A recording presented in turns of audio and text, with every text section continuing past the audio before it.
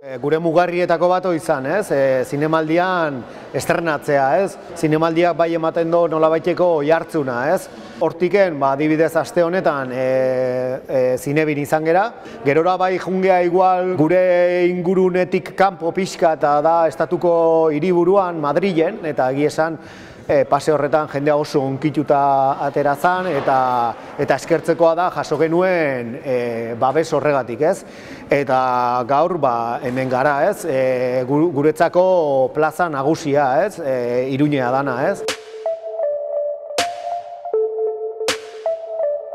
Yo creo que todas estas películas que están, que están surgiendo en los últimos años, como Nondago Miquel o otras películas como la nuestra, creo que están aportando eh, un relato, ¿no? una, una, mirada sobre lo ocurrido que creo que es muy necesaria, la necesitamos, necesitamos contarla y necesitamos que nos la cuenten. ¿no? Siempre, siempre comentamos que nos gustaría ver lo que ha ocurrido como, como un puzzle, ¿no? un puzzle en el que lleno de piezas en el que nos, esta es una historia, es una pieza. Hay muchas piezas de ese relato, pero necesitamos verlas todas para completar el puzzle. Y nosotros hemos puesto una pieza más, creo que importante, de una historia desconocida que, que probablemente sorprenderá mucho a la gente cuando la conozca.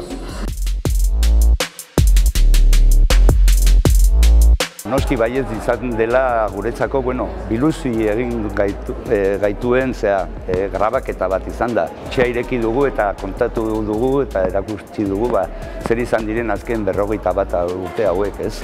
Eta ez bakarrik gure familiaren zan, ikustu dut ale txiki bat jarri dugula, hainbat eta hainbat kasu dauden bezalakoak, ba hor, e, ba, azaleratzeko egi bat, ez? Eta azaleratzeko ze gertatu izan den gure herri honen artean. Kanpoan ere ulertuko dutela, eh, ba, gure, gure historia honekin bidaltzen den bezua. Nik da, gure familia orain arte bete izan behar izan dugun edo eraman behar izan dugun zama, nik dena dela ez nioke utzi nahi izango ba, nire semeari ez.